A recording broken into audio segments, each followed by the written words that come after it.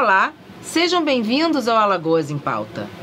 A educação profissional e tecnológica no Brasil ainda é a opção escolhida pela minoria dos jovens brasileiros. Dentre as cerca de 9 milhões de matrículas no ensino médio regular no Brasil em 2019, apenas 21% corresponderam a cursos técnicos e magistério.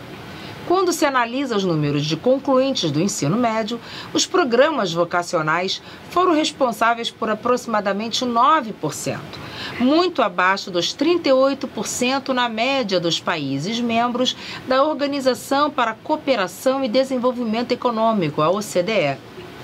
A transição econômica mundial para um viés mais sustentável trouxe também a discussão para o setor de educação sobre como formar ou requalificar profissionais para possibilitar esse desenvolvimento com menor impacto ambiental. Para conversarmos mais sobre o cenário da educação profissionalizante em Alagoas, recebemos Aristóteles Oliveira, doutor em educação e coordenador pedagógico do SENAC Alagoas. Doutor Aristóteles, seja muito bem-vindo ao Alagoas em Pauta. Obrigada por conversar com a gente. De antemão, peço desculpas pela minha voz, porque fui acometida aí por uma crise alérgica. É nós que agradecemos o convite e a oportunidade de conversar sobre um tema tão relevante que é sobre a educação. Né? E só para termos uma ideia inicial, é, o setor de comércios, bens e serviços é o setor que mais gera emprego e renda no Brasil em Alagoas corresponde a aproximadamente 70% de tudo que é gerado na nossa economia. E é o setor justamente que nós, enquanto instituição de educação profissional, atuamos, uhum. né, que é o setor de, da, de, setor de serviços, bens né, e turismo. Então, é, existe realmente, principalmente em Alagoas, Alagoas no Brasil, uma questão cultural é, de às vezes não valorizar a educação profissional e tecnológica. Né? Então se valoriza muito ao concluir o ensino médio já ir diretamente para o ensino superior. Se nós analisarmos, por exemplo, a Europa, né, é, lá a valorização dos cursos técnicos e profissionalizantes é muito maior do muito. que aqui no Brasil. Então é uma questão cultural, também de políticas públicas para investir ainda mais na educação profissional e tecnológica. E realmente assim é um desafio porque é, o mercado, inclusive os cursos profissionalizantes, ele é um caminho mais curto para o mercado de trabalho.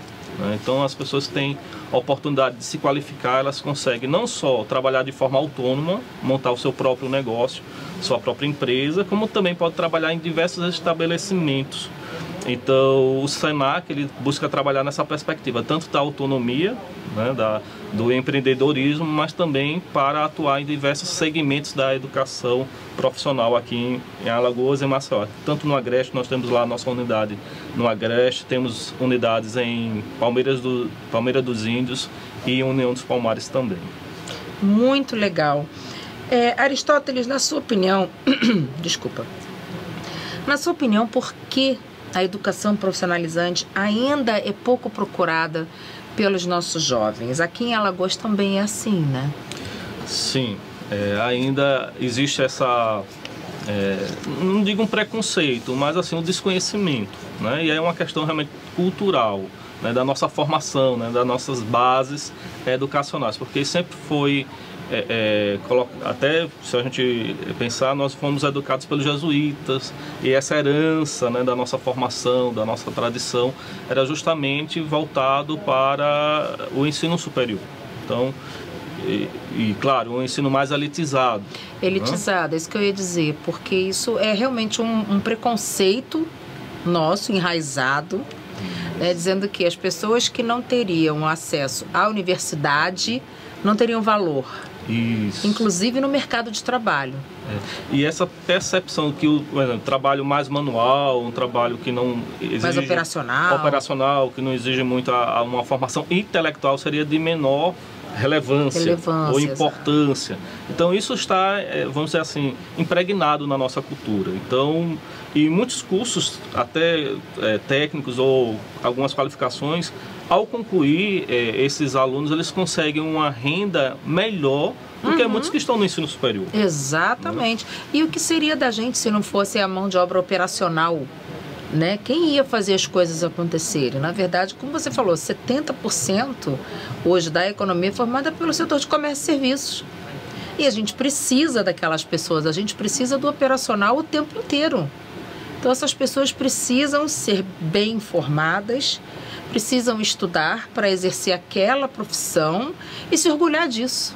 Exato. E uma coisa não exclui a outra. Você pode ter é, iniciar por uma formação técnica e continuar os estudos no ensino superior ou iniciar no ensino superior e voltar para uma formação técnica, o importante é justamente investir na formação, na qualificação profissional e entender é, o que o mercado ele demanda. Uhum. Muitas vezes eu procuro um curso, uma qualificação profissional que o mercado já está saturado ou que há uma competição muito acirrada e às vezes tem áreas que faltam profissionais. É. Então, se falta profissional, alguma coisa assim, não, não está casando. Não está casando. E muitas vezes é justamente isso. É, os nossos jovens, adolescentes, eles não têm essa formação, orientação adequada para é, buscar cursos e uma formação que realmente é, aproxime eles do mercado de trabalho. Exatamente. Fora que, assim, vale ressaltar que algumas universidades também são tão ruins que não prestam nem o serviço que elas deveriam prestar de formar um bom profissional. Nem formam. Muitas vezes você pega, você quer contratar uma pessoa que, em tese, tem uma formação universitária e, na verdade, ela foi muito mal formada, porque a universidade não fez o papel dela também, né? E muitas vezes você até prefere contratar um técnico que não tenha ensino superior, entre aspas, mas que vai entregar muito mais.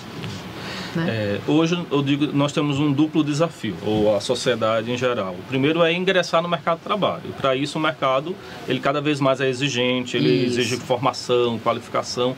E o segundo é permanecer, porque para além do domínio técnico ou científico de uma área, hoje as pessoas valorizam muito as relações interpessoais.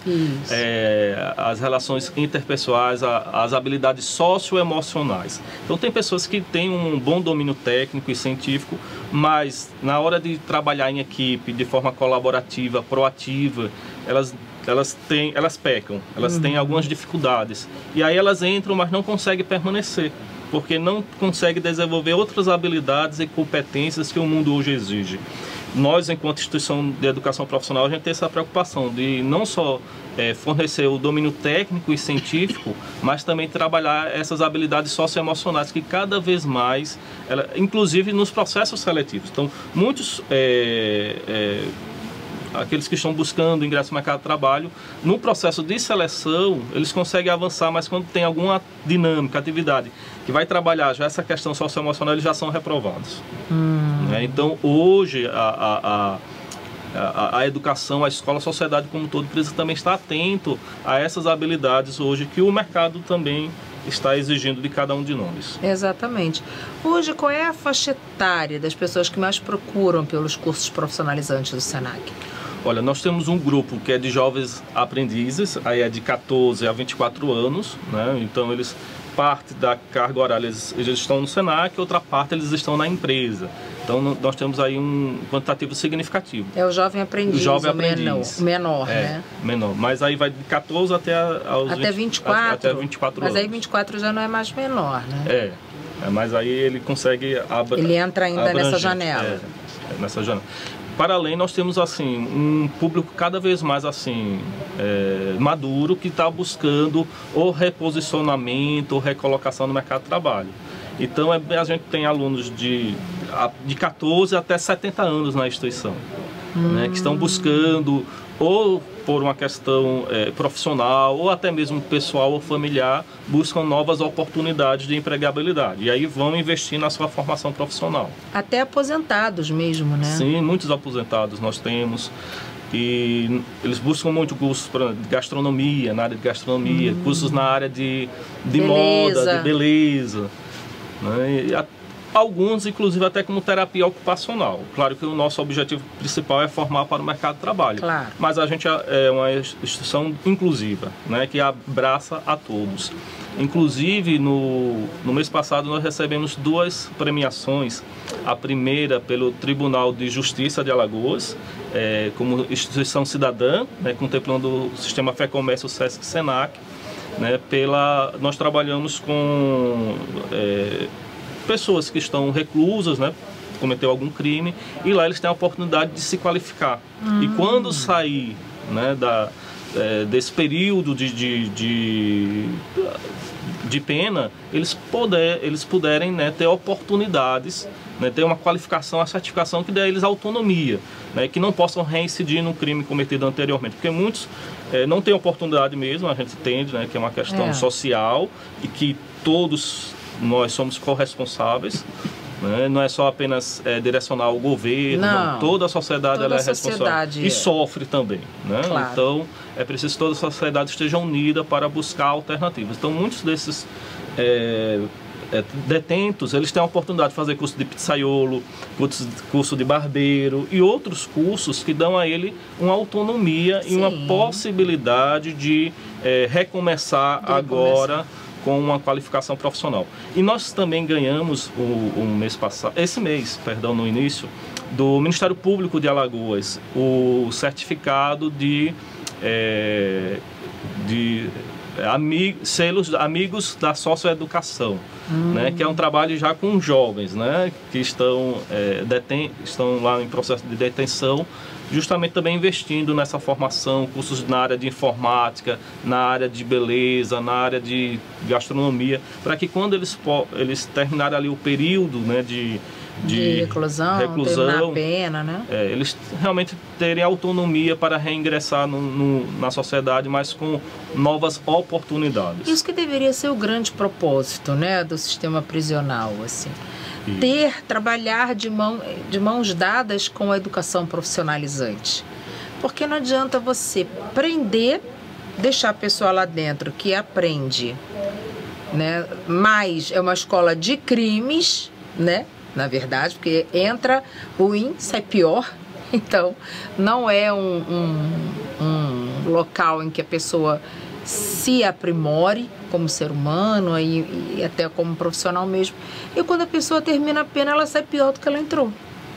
Se tiver de mãos dadas com uma educação profissionalizante, que tenha oficinas, aulas e realmente o sistema eh, prisional estivesse com esse enfoque profissionalizante de trazer para oferecer à pessoa uma nova oportunidade, seria fantástico. Acho que a gente teria um sucesso maior né, na nossa sociedade. Exato. E o SENAC está é, como uma empresa parceira, né, tanto do, claro. do, Tribunal de Justiça, Ministério Público, atuando né, no, nos presídios, nos locais reformatórios. de reformatórios, justamente para dar essa oportunidade para que essas pessoas elas saiam melhores do que, do que entraram. entraram ali. Né? E a educação é, é, o caminho né, para a transformação das vi de vida dessas pessoas. Claro, claro. E quais são os setores mais procurados lá no Senac pelas pessoas? Olha, hoje o setor, assim, na área de saúde, que o, o Senac trabalha na área de saúde, do turismo, da gastronomia,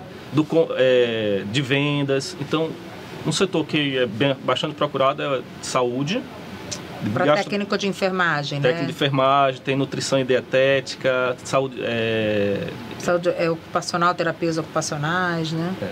E é interessante porque lá o SENAC tem uma preocupação realmente assim, tem vários laboratórios. Para o curso de enfermagem, nós temos lá um laboratório de enfermagem super moderno. E, e, aí para realmente preparar esse estudante para quando ele concluir ele possa rapidamente ingressar no mercado de trabalho. Né? Nós temos um, o curso de na área de tecnologia também é uma área que está sendo bastante procurada hoje em dia, né? com novos cursos. Então é, tecnologia, saúde, turismo, gastronomia são áreas que são bastante procuradas pela, pela comunidade em geral. Beleza ainda? Beleza. Né? Porque parece um mercado saturado, né? Que a cada esquina tem é... um salão, mas ainda não está saturado. Tem muita gente procurando. Muita, muita. Ou qualificação ou requalificação. Ou requalificação, né? Exatamente, porque vai mudando algumas técnicas. Isso. Né? Então volta para se aprimorar. Ah, que interessante. Você falou em turismo, né? Hoje a gente tem uma indústria, né? A gente tem a vocação natural do Estado para o turismo, né? E com essa crescente demanda que a gente percebe aqui no estado, né, que nos últimos anos houve um boom do setor de turismo aqui com o surgimento de vários hotéis, novos voos internacionais que trazem turistas estrangeiros para cá. Essa qual tem sido a contribuição do Senac para esse mercado? Vocês fizeram novos cursos, aumentaram a quantidade de turmas? O que vocês fizeram para atender essa demanda? Porque cada vez mais o setor exige mão de obra cada vez mais qualificada. Eu acredito que pessoas também estejam procurando por isso, porque entendem que é um mercado que se abriu né, fortemente. Como é que o Senac se preparou para atender essa demanda forte do turismo? É, pensando, por exemplo, numa estrutura de um hotel, de uma pousada, não? nós temos, por exemplo, curso recepcionista, né? o curso de camareira em meios de hospedagem, de governança, temos o técnico em hospedagem, o técnico em guia de turismo, o auxiliar de cozinha, o cozinheiro, o técnico em gastronomia. Todas essas áreas elas são absolvidas por esse setor. Sommelier também? Sommelier também. É, um desafio que nós encontramos às vezes é que alguns empresários é, às vezes tem dificuldade, porque o Senac ele realmente tem uma preocupação na formação. Então, os cursos Senac às vezes tem 240 horas, 800 horas, e às vezes a gente também entende o lado do, do empresário, ele quer uma formação mais aligeirada. Uhum. Só que às vezes a formação aligeirada não prepara adequadamente esse profissional. Claro. E o Senac tem esse compromisso de formar realmente uma mão de obra qualificada para o mercado de trabalho. Então, os nossos cursos têm uma carga horária maior. Então, às vezes há uma um, um desencontro ou, ou, alguns ruídos nesse sentido, porque às vezes o empresário quer algo mais rápido e o Senac quer, na verdade, é, reter mais tempo esse trabalhador para realmente oferecer para esse empresário um profissional mais bem preparado para é, os desafios. Porque senão também é o nome do Senac, né? É. Que está em jogo, porque não adianta você formar um profissional pela metade para atender uma pressa né, do mercado. A gente entende uhum. que o mercado exige, tem essa pressa natural, mas ao mesmo tempo vocês têm que oferecer um profissional bem formado né, para isso. Eu acho que de repente uma saída seria assim, como se fossem cursos de requalificação. A pessoa já é camareira. Então, como ser camareira num hotel de luxo, por exemplo, né? Então, seria uma formação extra, a pessoa já é camareira, garçom, né? Você já é garçom, mas para servir, para trabalhar num restaurante quatro estrelas, cinco estrelas, exige um comportamento, um conhecimento maior, né? Exatamente. É, e nessa linha, né, o Senac, ele, como a gente falou, além do, do conhecimento mais técnico, científico, a gente tem as marcas formativas do Senac, que é justamente trabalhar uma visão crítica, atitude sustentável, é, voltado para a cultura digital também, porque hoje né, a sociedade tudo perpassa né, pelas tecnologias. Então, em todos os nossos cursos tem esse olhar realmente para formar esse indivíduo, realmente para esses desafios que o mercado hoje ele impõe à, à sociedade como um todo. Sim, sim. E hoje, como está se comportando esse setor da educação profissionalizante em Alagoas. Hoje vocês têm, por exemplo, quantos por cento né, do SENAC comporta jovens? É 70%, 80% dos estudantes? Menos? Você, você acha que o SENAC ele precisa fazer um trabalho mais de aproximação da sociedade, mostrando o valor da educação profissionalizante para trazer mais esse público para o SENAC? Sim, a gente precisa ampliar realmente, a, a contemplar um número maior de, de jovens, adolescentes. É, hoje o SENAC, ele tem algumas unidades físicas, como eu falei anteriormente aqui em Maceió, né? É, temos o CEP de gastro, é, Gastronomia e Turismo, temos o CEP Carlos Milito, que é, realiza diversos cursos, temos o CEP do Agreste, né, em Arapiraca, e unidades em União dos Palmares e Palmeira dos Índios. Nós precisamos realmente ampliar ainda mais a, a, as oportunidades. É importante dizer que o SENAC ele atua muito no segmento da sociedade né, mais vulnerável. Então, a maioria dos cursos do SENAC hoje, eles não são é, é, comerciais, eles são gratuitos, né, pelo programa SENAC de gratuidade, PSG. Então, atende justamente a população mais carente, porque entendemos que se a gente investe nessa população, elas serão mais possibilidades de empregabilidade, de geração de renda e de sair da realidade na qual elas encontram. Então, mais de 70% dos nossos alunos, eles são oriundos de família de que vem de uma de vulnerabilidade, baixa renda, baixa renda vulnerabilidade social, que é a maior parte da nossa população. Também, é, né? é, é. Se a gente analisar aqui em Maceió, em Alagoas, mais de 70% da nossa população ela vive é, nessa faixa aí da, é, de baixa renda. Uhum. Só que para o ano vocês pretendem implementar uns cursos pagos, né? Porque aí Sim. acaba que as pessoas querem fazer um curso, mas aí entram pelo programa, pelo PSG, quando que na verdade elas nem necessitariam, né? Não são nem elegíveis a esse programa. O Senac está se preparando também para oferecer cursos pagos? Sim. É, a proposta é ter turmas mistas. Na mesma turma, alunos oriundos do PSG e alunos do comercial ou pagos. É importante destacar que o SENAC não faz distinção entre é, se é PSG Sim. ou pago. A infraestrutura, o material, material pedagógico, os professores são os mesmos. Então não há nenhum tipo de prejuízo sim. Né, enquanto a isso. Então nessa, nessa linha, sim, a, a, pra, para o próximo ano, a proposta é ter turmas mistas, uma, uma turma de 25, 30 alunos parte desses alunos serão PSG, outra parte comercial. Aí a gente consegue atender também aqueles que não estão dentro desse perfil, mas que buscam também qualificação Lógico. e às vezes ficam realmente fora desse processo, né? Porque a gente investe muito nesse segmento, mas aí a ideia da instituição para 2025 é justamente é, redirecionar para atender esses dois públicos. Entendi. Vocês têm unidades móveis também, né? Unidades móveis. Que percorrem os estados. Como é que é o trabalho das, das unidades móveis? São cursos nas unidades móveis ou, ou apenas inscrição? É, Como é que funciona? Geralmente funciona muito em parceria com prefeituras né, hum. né, aqui do interior do estado. Então temos o curso de cabeleireiro, o curso de informática, de gastronomia, e aí na área de gastronomia tem salgadeiro, doceiro e outros cursos, auxiliar de cozinha. Então são várias. Nós temos hoje cinco carretas, é, que são as unidades móveis, e a gente vai aí passa um período de três, quatro meses nesses municípios ah. ofertando os cursos de qualificação. Então são móveis mesmo assim, mas não é móvel de um dia, dois dias, é para ficar. Não, fica um período. Um período. De três a quatro meses, que é é, o período aproximado da realização do curso. E aí, com cursos de manhã, tarde e noite, os três horários.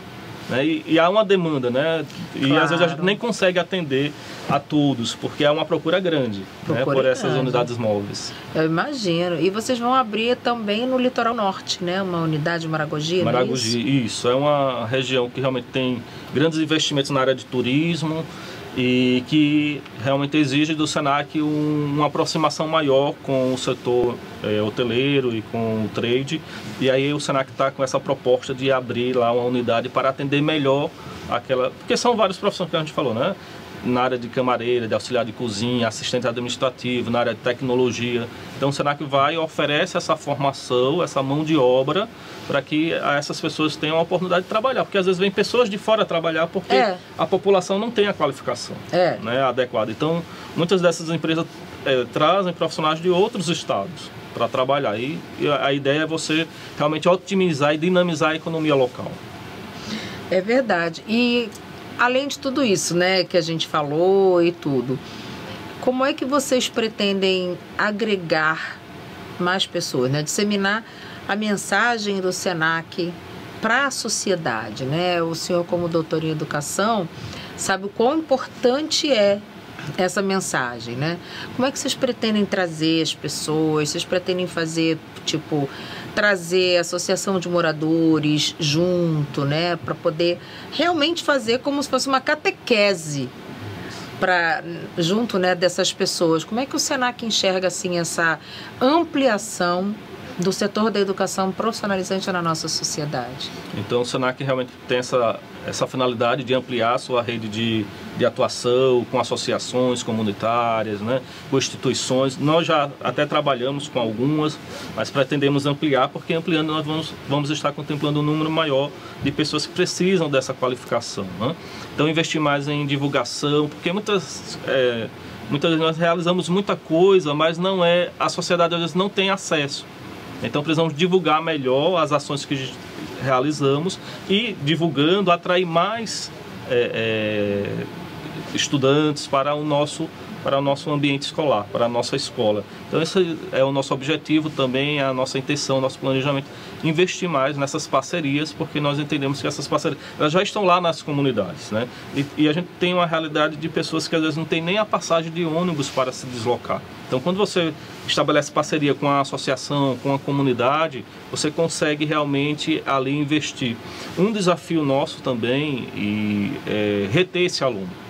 Né? E alguns, quando chegam lá, conseguem um emprego, isso é bom, que é o nosso objetivo, mas outros, alguns desistem realmente por questões socio, é, principalmente econômicas, né? às vezes não tem como se deslocar. Os nossos cursos técnicos, eles têm o passe livre, mas quando não é, aí não tem essa, essa, essa bonificação, eles precisam investir e muitos desistem. Então, a proposta do SENAC é cada vez mais se, se capilarizar no Estado. Nós temos também a educação à distância, mas a educação à distância já exige que aqueles tenham acesso à internet, a computador, e aí é uma forma de democratização também do ensino, mas de forma presencial, via as prefeituras e via as comunidades, ofertando cursos de qualificação profissional. Maravilha. E quem quiser se inscrever nos cursos do SENAC? Quais são os telefones, site, Instagram? Quais são os canais de comunicação? É, nós temos um, um, WhatsApp que é o 2122 7858. Então, aluno 2122 7858. No, o nosso, nosso site é o al.senac.br. E aí são os dois principais dois canais. Nós temos o Instagram também do Senac, é, com mais de 50 mil inscritos, então é um número significativo. E aí nós aguardamos a, a população é, para que eles possam procurar o SENAC realmente como um caminho mais curto para ingressar no mercado de trabalho. Isso. E quais são os cursos, os cursos mais novos que vocês têm assim? Tirando esses que a gente já sabe, né? Tem algum curso, alguma novidade, algum curso recém-implementado lá no SENAC? Olha, é, a gente lançou recentemente o técnico em finanças e nós temos também a proposta do técnico em qualidade, que é uma área que está crescendo muito, né? A questão de, de qualidade. Aí nós temos ele na EAD, mas não temos presencial. Então a proposta também do técnico em qualidade. Área de saúde e TI, vários, assim, é, vários cursos na área de TI. Qual o desafio? É, esses novos cursos a sociedade ainda não conhece bem, então não sabe para qual é, ah, quando eu concluir o curso, eu vou atuar em qual área? Então, assim, procuram geralmente cursos básicos, que é de operador de computador, de manutenção, mas existem vários outros cursos é, na área de, de TI que o mercado hoje precisa desse profissional e muitos a gente até abre inscrição e não tem adesão porque a sociedade ainda não entende, ainda não enxergou é, a, as possibilidades de empregabilidade. Então a gente precisa trabalhar melhor nessa conscientização para que haja uma adesão maior, porque as empresas estão precisando e às vezes não tem esse profissional, porque eles não enxergam, eles é, ficam muito presos ainda àquelas, àqueles cursos mais tradicionais. Então, o que está mudando muito é a área de TI. A gente está com foco na área de TI, na área de saúde, saúde e na área de turismo. É o, além dos outros, o nosso foco é nessas três áreas para 2025. TI, saúde e turismo. turismo. Turismo. Que ótimo. Aristóteles, quero agradecer demais a sua presença aqui no Alagoas em Pauta. É sempre bom a gente falar sobre educação, né? A educação que é o a base da nossa sociedade. Então a gente precisa sempre trazer isso aqui, que é uma TV aberta, uma TV pública, e esse é um dos nossos propósitos, né? Fazer com que esse tipo de mensagem, informação chegue até as pessoas. Então, você que está assistindo a gente, que está buscando por recolocação, requalificação profissional, procura o SENAC. O SENAC oferece ótimos cursos gratuitos que estão aqui ó, à sua disposição para você se recolocar, para você se requalificar e atuar de uma forma bem bacana no mercado de trabalho. Aristóteles, muito obrigada e sempre que tiver novidades do Senac, vem contar pra gente aqui. Nós que agradecemos. A nossa missão é justamente de transformar vidas por meio da educação profissional. Então, muito obrigado pela oportunidade. E obrigada a você que nos acompanhou até aqui e até o próximo Alagoas em Pauta.